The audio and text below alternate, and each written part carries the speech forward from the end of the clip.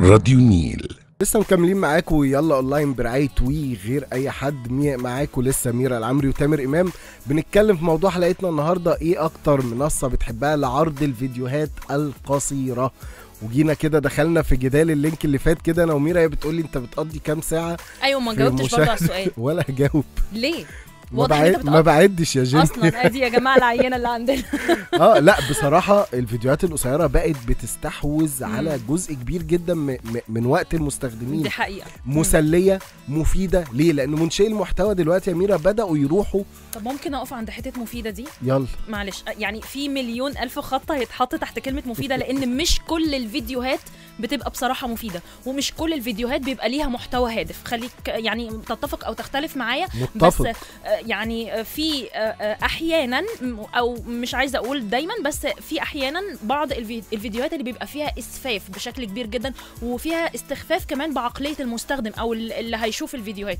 فأنا بصراحة يعني طبعا مش بلوم ال ال الناس اللي هي اللي بيعملوا كده ممكن دي طريقة حياتهم أو طريقة يعني نمط حياتهم عادي بس بلوم اللي بيتفرج على الفيديوهات. صحيح. ال الشخص اللي هو بيجيب الفيديو أو بيتفرج على النوع ده من المحتوى أنا بلوم هنا الشخص ده مش بلوم الشخص اللي بيعمل عادي. متفق معاكي بس تعالي كده آه العفو. تعالي كده نسيب بقى الفيديوهات القصيرة ونركز كده بقى يا جماعة مع بعض كده عشان نروح لإيه لخناقة كده بين اتنين من العمالقة الكبار. مم. إيلون ماسك اللي هو حاليا هو الأونر أو المالك لمنصة تويتر بعد ما اشتراها من حوالي 10 شهور. ومارك زوكربيرج مالك شركة ميتا اللي هي عندها فيسبوك وانستجرام. حرب كبيرة كبيرة. ركزي معايا بقى. الحاج إيلون ماسك عايز يجيب فلوس من أي حاجة. أي شوية هوا معديين كده يروح معبيهم في كيس وبيعهم. عادي جدا. راجل ملياردير. راح جه عامل إيه بقى؟ مطلع قرار مش عارف مش عايز اوصفه ب... بأي صفة دلوقتي هسيب المستمعين هم اللي يوصفوه بس هو راح جه قايل إيه قال يا جماعة كل اللي بيستخدم تويتر المشتركين اللي هم عندهم خدمة Twitter Blue اللي هم عندهم علامة ال verification الزرقاء. مسموح له في اليوم الواحد إن هو يظهر له أو يقرأ 6000 تويتة. فقط 6000 واحد no مش هتشوفها وجه راح قايل إن اللي ما عندهوش أو المستخدم بقى العادي اللي زي حالاتنا كده الناس اللي ما بتدفعش الغلبان اللي زينا آه. آه. 600 تويته في اليوم. 601 no. Okay. المستخدم بقى الجديد اللي لسه داخل بيخبط على الباب ولسه عنده account جديد مم. مش هيشوف غير 300 تويته في اليوم. مم. طب يا عم الحاج وبعد كده؟ ليه؟ ادفع. ليه؟ عايز فلوس. هو عارف إن مستخدم تويتر هو مدمن تويتر مم. خدي بالك من النقطة دي كويس طبعاً. جدا ال. ال ال التويترية بقى بالبلدي كده. بلغة ال social ما ميديا بيعرفوش يستخدموا سواء فيسبوك أو انستجرام أو أي موقع تاني آه ولا ليه في الصور بقى ولا الفيديوهات ولا. الهري ده كله هو الراجل بيدخل عشان يشوف مثلا شخص مؤثر مثلا على تويتر وهو متابعه عامل تويتة يدخل يديبيت مع يتجادل معاه في, في أمر ما. يدخل يعلق له والتاني يرد عليه. هو حياته كده. ف... فالموضوع ده طبعا عامل ضجة كبيرة. تهدى بقى الدنيا. لا طبعا الدنيا ولعت. مستخدمين شاطر. يروح مارك زوكربيرج بقى عامل إيه بقى؟ الراجل دلوقتي صاحب شركة ميتا اللي من ضمنها فيسبوك بقى وواتساب و... راح منزل منصة للتغريدات فقط اسمها إيه بقى؟ ثريدز ثريدز ثريدز. المنصة دي هي نازلة بس للتغريدات علشان خاطر ودي اللي قال إن هو هينافس بيها إيلون ماسك وكتب تويتة على بالظبط. تويتر وقال إن هو هين- هينزل منصة تنافس تويتر. علشان كده قامت إن الفكرة إن هم هيصارعوا بعض افتراضيا صح كده؟ صح كده. تهدى الدنيا؟ لا ما. تهداش. في أقل من ثلاث أيام يا ميرا. ثريدز قدرت إن هي توصل لخمسة مليون مشترك جديد مم.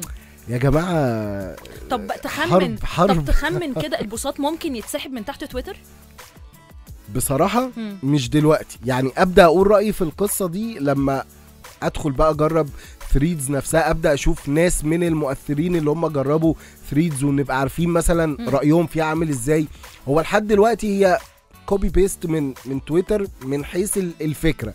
من حيث الشكل هي بتميل أكتر لإنستجرام تخيلي لو أنت فاتحة إنستجرام صورة بتظهر لك. بس. تمام تويتر نفس ال interface كده بتاع إنستجرام بتفتحي بدل ما بتشوفي الصورة بتشوفي تويته ثم التويتة اللي بعدها ثم اللي بعدها. فالموضوع كويس طيب أنا أعتقد إن لو هتسحب البساط هتسحبه كنوع من العند في إيلون ماسك بمعنى إيه أنا كمستخدم لتويتر. لا معلش أنا بقالي زمن الزمن بستخدم تويتر هتيجي أنت يا حاج إيلون يا ماسك هتيجي ت... ت... تروشنا بقى وكل شوية تطلع لي قرار ده خدي بالك ده مش أول قرار ده الراجل بقاله 10 شهور ماسك. كل أسبوع بي... بينزل قرار جديد. يعني الراجل حاطط إيده في جيوب المستخدمين بطريقة رهيبة فالناس ممكن تلجأ لإن هي تعاقب إيلون ماسك على سياسته دي طبعا. وتروح لمين؟ للثريدز بقى الجديدة. مع ببلاش بقى و... و... والناحية التانية مارك زوكربيرج هيفضل يدلع المستخدمين في الأول وإحنا كده كده عارفينه في فيسبوك وإنستجرام وعندك آه، آه، واتساب فموضوع أمان يعني. بالظبط. مارك زوكربيرج من المدرسة اللي بتميل إن هو يتربح من ورا المستخدمين بشكل غير مباشر. إزاي؟ بيبيع بياناتنا. أيوه بيبيع بياناتنا. إنما إيلون ماسك الراجل بيتربح من خلال الإتاحة تكون بفلوس. يعني إيه الإتاحة بفلوس؟ يعني حضرتك عايز تستخدم تويتر بمميزاته بخدماته ادفع. زي ال video on demand حضرتك لما بتحبي. تتابعي مسلسل تتفرجي على ال 30 حلقة في نص يوم مثلا بتدفعي اشتراك شهري للمنصة اللي انت عايزة تشوفي عليها المسلسل مش عايزة بقى وبالك طويل اقعدي تابعيه على التلفزيون مثلا في شهر. عارف عارف يا تامر هو الفكرة أو الناس اللي هتتأثر قوي بموضوع آه، تويتر والقرارات اللي أخدها إيلون ماسك دي آه، الناس اللي هم عندهم عدد كبير من ال followers الناس اللي عندهم عدد كبير من المتابعين ومؤثرين بشكل كبير سواء بقى لعيبة كورة أو ممثلين أو فنانين أو مغنيين أو على أو كمان على مستوى العالم فدول اللي هيتأثروا بشكل كبير جدا. طبعا. آه، يعني آه، طب أنت بتعمل فينا كده ليه؟ المفروض إن هم يكونوا بقى إيه يعني على علاقات آه، آه، يعني آه، وثيقة بإيلون ماسك فالمفروض إن هم يكلموه ولا إيه يا كريم؟ الموضوع يا جماعة بقى خلاص الشركات الكبيرة والعمالقة في التكنولوجيا خناقات خناقات خناقات. خلينا إحنا كده قاعدين بنتفرج. تعالوا نرجع تاني بقى لموضوع حلقتنا كده عشان مستنيينكم تبعتوا لنا رأيكم. إيه أكتر منصة بتحبها لعرض الفيديوهات؟ كنت بتكلم على إن؟ الفيديوهات المفيدة والفيديوهات اللي مش مفيدة والكلام ده كله. إيه أكتر نوعية فيديوهات مش بتحبها على منصات الفيديوهات القصيرة؟ ال- الحاجات اللي هي ال- بنسميها برانكات اللي هي مقالب والحاجات دي. ما بكرهها بصراحة. يعني ممكن فيديو واحد مثلا أشوفه يضحكني وارد على فكرة okay. مش مش معترض على. تمام. بس ما افضلش قاعد ساعة ساعتين ورا بعض فيديوهات من النوعية دي ورا بعض كده لا الواحد بصراحة صعبة جدا ده ومؤخرا ده يعني بقى في نوعية فيديوهات أو اللي هي اللايفات اللي بتبقى عبارة عن إن إحنا بنعمل تحديات في بعض أو بنعمل بنملي شروط على بعض علشان مين يكسب ومين مش عارف الموضوع بقى يعني فوق المستفز بدرجتين ثلاثة كده العواجيز اللي زي حالاتي ما آه. بحبوش الحاجات. بس عايز أقول لك الحاجات دي ليها زبونها ليها زبونها بطريقة بشعة بشعة فوق ما تتخيلي.